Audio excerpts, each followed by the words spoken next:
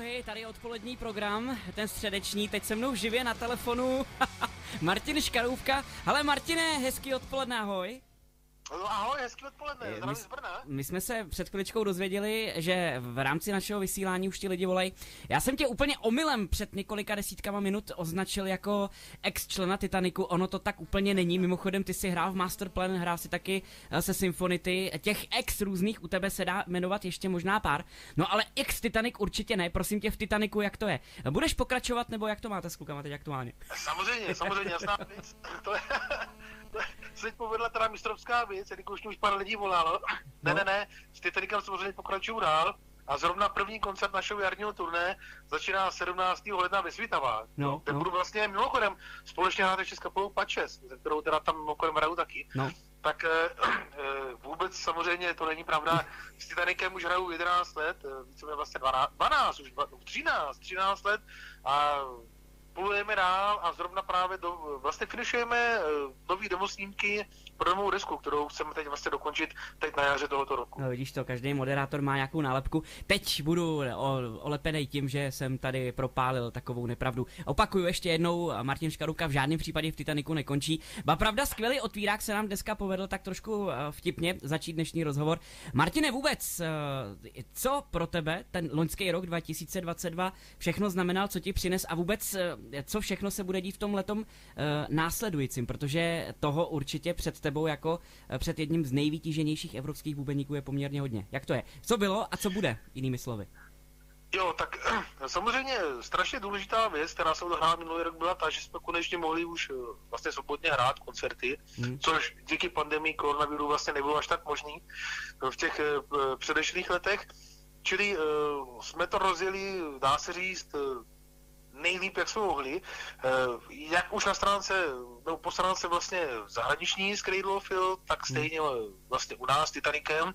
A já jsem mimochodem zaskakoval ještě s kapelou Pačes, eh, kde teď vlastně finišují ty koncerty, které jsme byli domluvený už před rokem, že ještě odehrajou teď vlastně na rok, my takhle jsme plánovali dřív.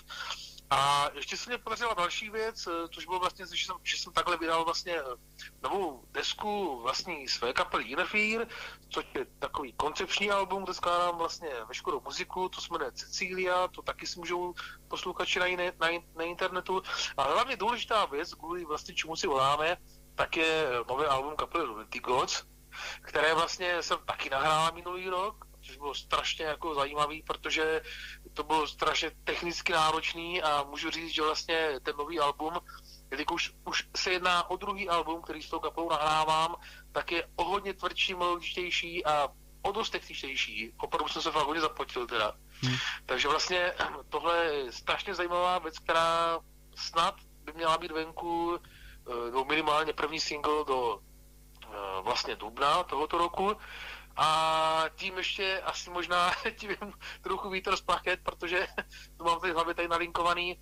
Eh, Mě můžou posluchači vidět z toho kapelou už tenhle víkend, v sobotu, v Praze, v klubu Black Pass. No, uh, mimochodem, my jsme tu sobotní taškařici v 17. ledna v Klánovickém, uh, 14. ledna, sorry, v Klánovickém klubu Black Pass chtěli zmínit ještě jednou právě z toho důvodu, že ty tam To budeš... nevadí, to zmíníme. Eh, ty tam No, budeš jako jedna z těch hlavních hvězd. Jinak Lunatic Gods je kapela, která je tady připravená, za chvilku si ji dáme. Mimochodem, to je taková hodně žánrově zajímavá skvadra. Prosím tě, jak se s nima pra- spolupracovala s klukama slovenskýma, ušatejma?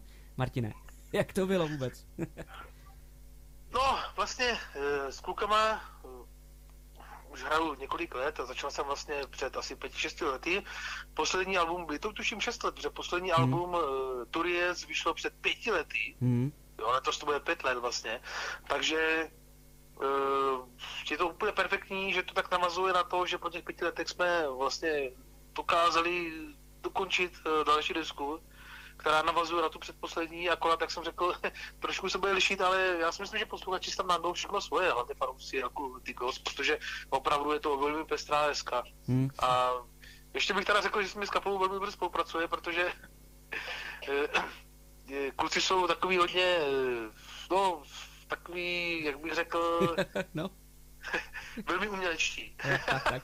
Jinak, Jsem strašně rád, jo. Opravdu je to, jo, kluci jsou superoví. Je to strašně baví a vůbec to spojení folku a metalu a obecně za to ty ano, prvky, no, které tam, že jo, uh, myslím, že i cymbál tam zní. Možná ještě zmínit, možná bych měl zmínit teda mimochodem studio, studio Šárek vlastně, ve kterém jsme nahrávali, kde natáčím já, nicméně vlastně jako většinu nahrávek, který točíte v České republice, což je Bzenci, což je taky folklorem hodně jako předené město, tak uh, tam, tam určitě ta návaznost jako není náhodná, proč tam kluku vlastně jako líbí natáčet, protože oni jsou vlastně na ten folklor hodně, hodně jako napojení, no, mm-hmm. takže...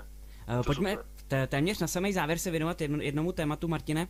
Eh, Škaroubko, před Vánocema, tuším, že dva dny před Vánocema na oficiálním Facebooku Cradle of Field vylezla fotka, že budete, hele, chlapi, dělat něco s Edem Sheeranem. To je pravda, nebo to nějaký prank, nebo co to je vůbec? Jak, jak to teďka bude probíhat dál? Chystá se ne, vůbec ne, něco? Tak to není, eh, jasně no, tak to není žádný prank. Když by se mohlo zdát jako prank, tak prank to nebyl, ani není a je to tak, no, my jsme vlastně už, eh, byla to věc, která, nebo je to věc, která vlastně už pár let se takhle táhne, my jsme to nechtěli zveřejňovat dřív, než opravdu ten Ed na to přistoupí a než hmm. opravdu přijde a něco natočí a nějak ta nahrávka eh, vlastně se rozvine dál. My jsme s Edem začali spolupracovat už před pár měsícama a až teď vlastně mu jeho rozvrh eh, dovolil nějakým způsobem vlastně s tomu přizpůsobit. A já za pár týdnů tam vlastně letím a začínám natáčet bubny na právě tu naši spolupráci a víc prozradit nemůžu. Hmm, hmm, hmm. Říká Martin Škaroubka nejenom z kapely Titanic, ale třeba taky Cradle of Field. My se teď jenom v rychlosti na samý závěr poměnujeme tomu, co tebe čeká v tomhle roce, ať už je to z Cradle of Field. Já jsem tam někde viděl, že jedete do států, to je jedna věc. A co zásadního pro tebe nebo pro kapelu třeba ještě i Cradle of Field bude pro letošní rok, ten letošní rok znamenat, Martine? Tak pro mě zásadně ten rok znamená konečně koncertování což znamená jako snad odehrát co nejvíc, nejvíc počtu koncertů, co nejvíc kapelama, jelikož na milion hraně živě. Mm-hmm. To je důležité, což znamená už se změněným Titanikem nebo Lunatic Gods, tak právě s Cradle of Field, kde nám začíná vlastně v březnu turné v Americe. A potom ještě mám nachystanou spolupráci s mým tatínkem, s jeho kapelou Dogmart, za kterou teď vlastně dokončím disku.